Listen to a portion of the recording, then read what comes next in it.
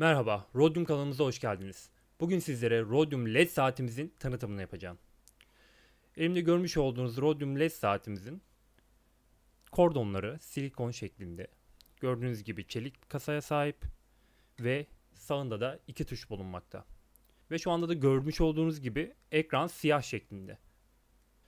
Bu LED saatimiz kolumuzdayken her zaman ekranı siyah şekilde gözükecektir. Ta ki sağ üst tuşa basana kadar.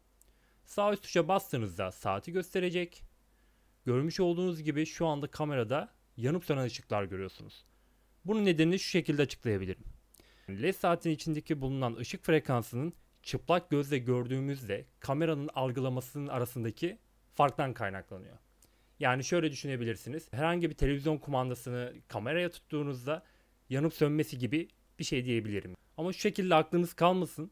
Çıplak gözle gördüğünüzde gayet altılı, 3, 4 yani düz bir şekilde gözükecektir sizin gözünüzde. Yani şurada da görebilirsiniz hatta fotoğrafta da. Ee, bu şekilde.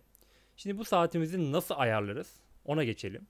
Öncelikle sağ tuşa basarak saatimizi görüyorsunuz. Sonradan ayarlayabilmemiz için sağ tuşa basıyoruz ve soldaki saat ayarlama bölümünü görmüş oluyorsunuz. Gördüğünüz gibi 8, 9, 10, 12, 1. Biz bunu 3 yapalım. Tekrardan sağ alt tuşa bastığınızda dakika bölümünü ayarlamaya geçeceksiniz. Sonradan sağ üst tuşa bastığınızda rakamların değişeceğini göreceksiniz. Bunu da mesela 9 yapalım. Şu anda saati ayarlamış buluyorsunuz. Daha sonrasında sağ tuşa basarak tarih bölümüne geçmiş oluyorsunuz.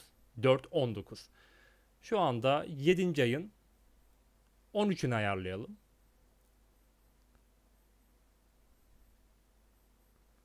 Gördüğünüz gibi ayı ayarladıktan sonra gün bölümüne geçmiş oluyorsunuz. Bunu da ayarladıktan sonra sağ tuşa basarak yıl bölümüne geçmiş olacaksınız. Burada da 2023 diyebiliriz. 13 bir saniye. Bunu da ayarladıktan sonra sağ tuşa basarak 12-24 ayarını yapabilirsiniz. Bunu da ayarladıktan sonra bıraktığınızda ekran kapanmış olacak ve tekrardan sağ üst tuşa bastığınızda saatiniz ayarlanmış olarak gözükecektir. Ayarlar bu şekilde. Bir başka videoda görüşmek üzere.